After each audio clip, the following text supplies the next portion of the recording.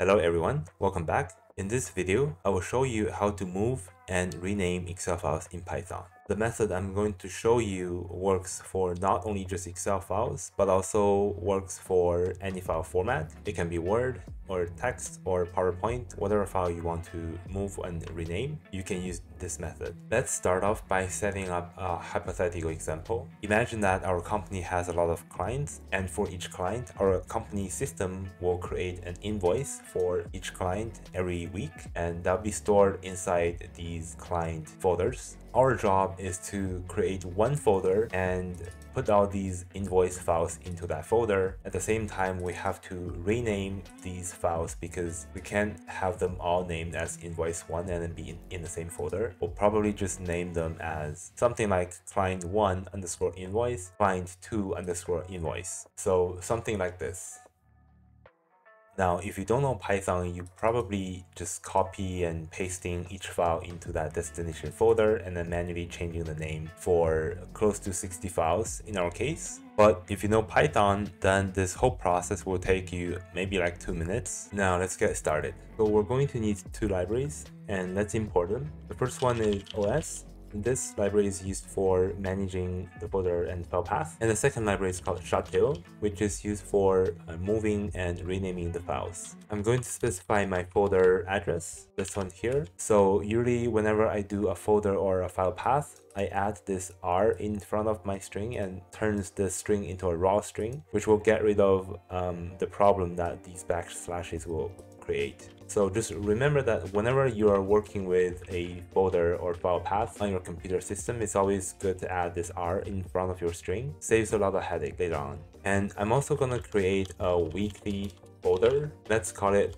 well since we since I've already got the week one here let's call this a week two so because this is a new week and we don't have that folder yet, so we can perform a quick check, see if uh, the folder exists or not. We can do something like this, os.path.exists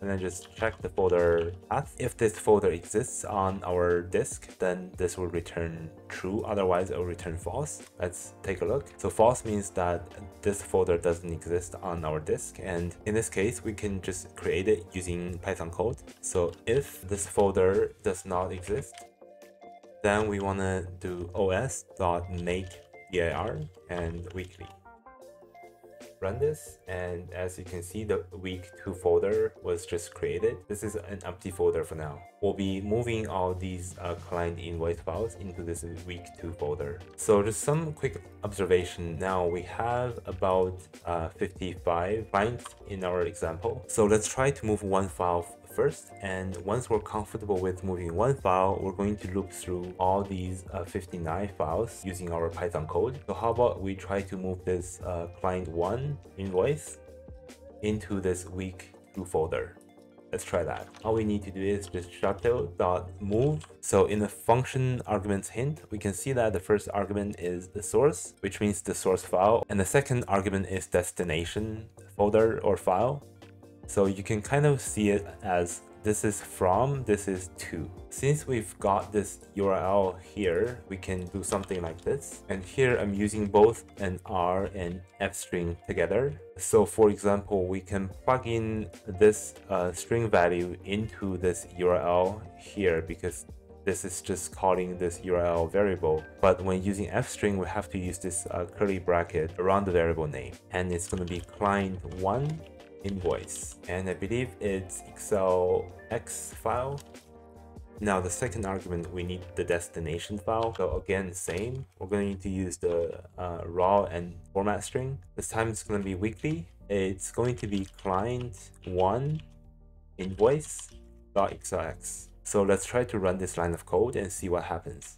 And you probably saw that this invoice file in this client one folder just disappeared and guess where it went it went to this week 2 folder with a new name. So I'm actually not going to open these files because uh, these are just empty files. There's nothing in the files. That's why you see all the sizes are like 0 KB. I'm just showing you guys how to move and rename the file names. So it doesn't matter what's inside the file. All right, so we got the first file moved and renamed. So let's now take a look at how we can handle all the rest of the files. So to do that, we need to create a loop. I'm going to create a for loop for i in the range. So because we've already moved the first client, so our range will now start from the number two, so the second client and it goes to number 60. So this way it will go from number 2 to number 59. It doesn't go to number 60. I'm just going to copy this line of code and tweak something there.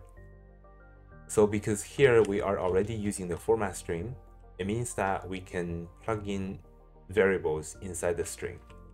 And the variables are going to be uh, these uh, client numbers. So I'm going to change this to a variable this is going to be i and same thing here this is going to be i as well. So basically once it loops through for example uh, the first one will be this the client 2 it's going to plug in the value 2 inside the i and and this will be client 2 and this will also be client 2 and it loops through all the values from 2 to 59 let's run the code and watch here. It's going to move all those client invoices and rename them inside this folder